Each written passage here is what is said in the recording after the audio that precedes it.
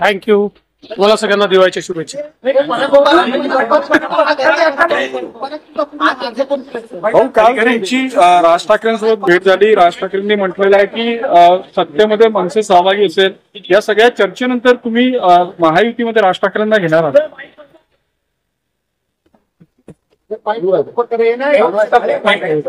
आवाज असं आहे की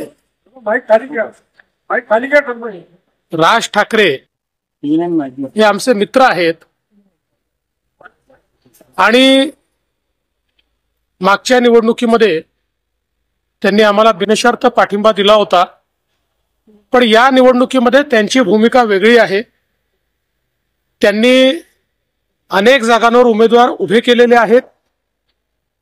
जे उमेदवार महायुतींच्या उमेदवाराच्या देखील विरोधात लढणार आहेत.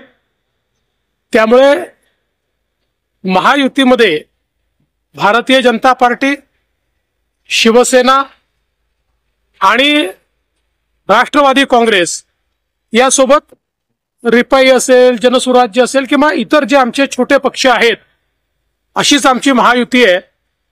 त्यांनी इतके उमेदवार वेगवेगळ्या ठिकाणी उभे केले असल्यामुळे आत्ता तरी ते महायुतीमध्ये येतील अशा प्रकारचा स्कोप देखील नाही. त्यांचे उमेदवार ते परतही घेणार नाही आहेत त्याच्यामुळे निश्चितपणे या निवडणुकीत तरी आम्ही अमोरासमोर लढतोय हे चित्र अतिशय स्पष्ट आहे. त्यामुळे महायुती एकीकडे आहे महाविकास आघाडी एकीकडे आहे. आणि मनसे असेल किंवा इतर काही पक्ष असतील हे स्वतंत्रपणे काही आघाड्या देखील लढतायत हे आपल्याला स्पष्टपणे दिसत आहे एखाद दुसऱ्या जागी माननीय मुख्यमंत्र्यांच्या मान्यतेने स्ट्रॅटेजिकली आम्ही काही मदत करणं किंवा काही अलायन्स करणं याचा विचार करू शकतो.